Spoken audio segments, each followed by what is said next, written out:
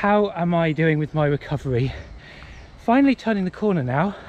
I think it's been about five weeks and seems like the eight to 10 weeks I need to allow to recover is about right because I'm still only at about 75%. So I started training again at the track this week. I've done two sessions and I couldn't sprint basically, but I could start to run quite fast. So, so yeah, maybe the session on Tuesday 70%, maybe up to 75% yesterday.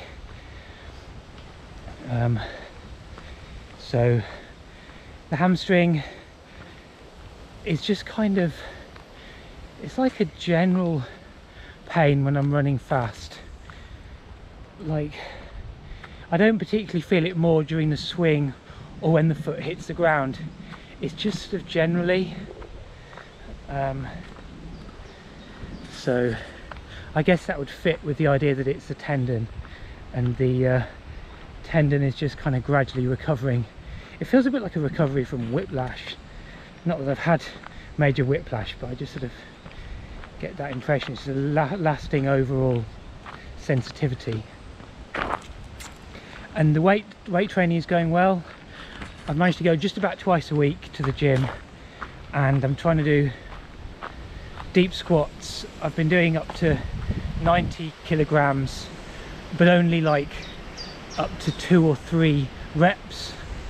So I'm really trying to to basically improve my maximum. Um, I think last time I was there I did I did sets of three at 80 I wasn't feeling that I wasn't feeling my top top form. And then uh, deadlifts. You see that the squats well with the squats I've been pleased with my form um, I'm not sure I used to do properly deep squats but I am now um, and I don't feel the hamstring when I'm doing it. But deadlifts, not surprisingly, I do feel the hamstrings. I've had to be more careful with those. So I think I was doing 70 kilograms sets of five um, last time I was there. So I'm hoping to get both of those up to 100 kilograms before too long. And I've been doing loads of other exercises in the gym. Um, so it's all pretty useful for keeping the fitness and strength, keeping it up maybe improving it even. Um, so it's worth bearing in mind that it's only ever been a problem with my right hamstring, not my left hamstring. So you've got to bear that in mind when it comes to questions about, you know, should I have done weight training before? Would that have prevented it?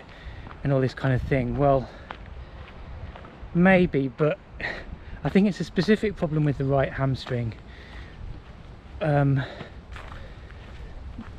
that it just needs special attention um, you know whether or not I do weights it's to do with the volume it's to do with flexibility it's, it's in particular to do with technique and I suspect that my one of the best explanations of it might be that my right leg has had to swing to swing through too quickly because I'm left leg is slightly shorter and I also have a slight problem with my knee in my left leg and I wonder if my left strides haven't been as powerful and therefore there's less time for my right leg to be in the air before it comes down again which means it has to swing through extra quick it's that swing through a bit like the whiplash that I described before um, can put a lot of strain on the, the hamstring.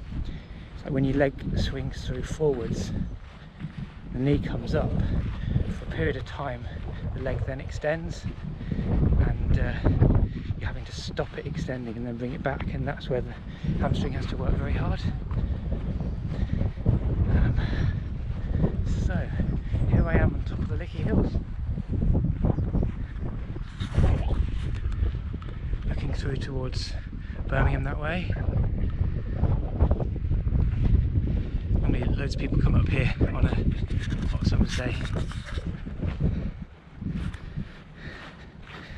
So uh, yeah, I've just made a video walking over the Waseley Hills um, in the sun.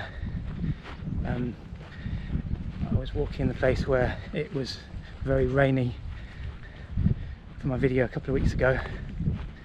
The cold wet weather carried on for quite a long time but it's finally changed now to to, to clear skies still with a strong wind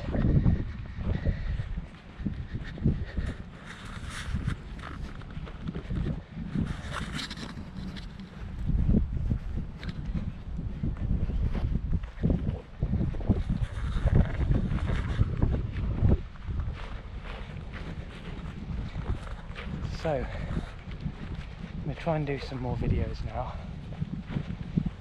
And uh, I really just like being out and about in the outdoors especially in the summer.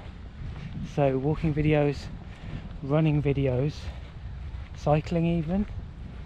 And obviously in this one I'm talking um, I hope to find lots more to talk about. Maybe don't want to talk so much about myself because it's just not an interesting enough story day to day. I'll keep you posted. Hopefully the story will become exciting again. Hopefully maybe four or five weeks time I'll be um, recovered enough to start improving my PB again. There's someone personal training there. Um, so yeah, I want to sort of talk about other stories as well. There's fragments of stories that I pick up from YouTube and just generally from the internet. Um, it's I find YouTube generally really interesting. I'd like to talk about YouTube and what what makes what makes it tick. You know what what makes videos successful or just the whole dynamic of YouTube. To what extent it's a good thing or a bad thing. I think one of the key things about YouTube is people like a story. And uh,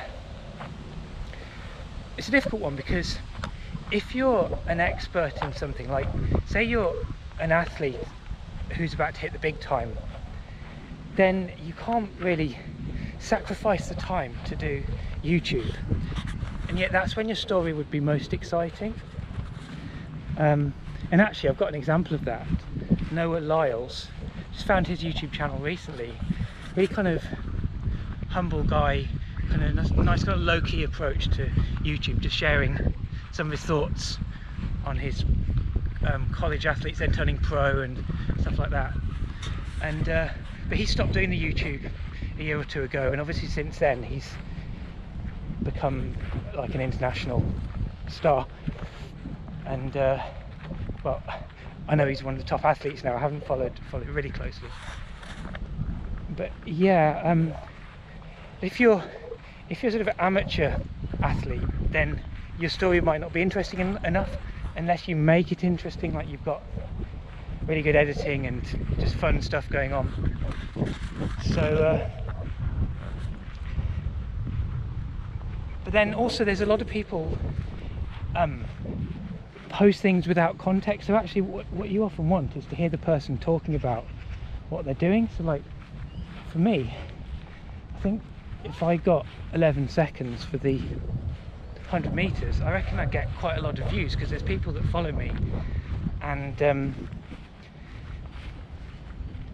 you know it's good for my age as well but the point is there's a story to it whereas you can look on youtube and find videos of people running 11 seconds or 10 something but there's hardly any views because it's not interesting. Like you know there's thousands of people who've got 10 seconds something let alone 11 so why would anyone be interested to watch it? So it's all about the story. Um, but the thing is